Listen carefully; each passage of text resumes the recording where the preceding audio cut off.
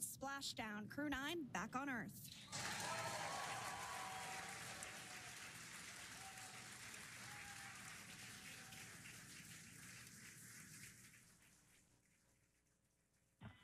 And SpaceX Freedom, splashdown.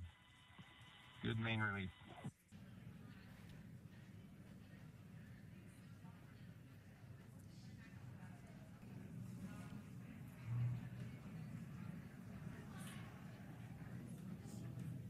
And there you have it. The side hatch is open for the first time since September.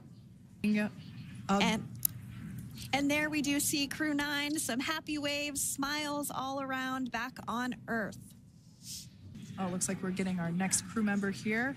That is none other than Suni Williams. Big smile. We're getting some views of him now as he egresses or exits the spacecraft.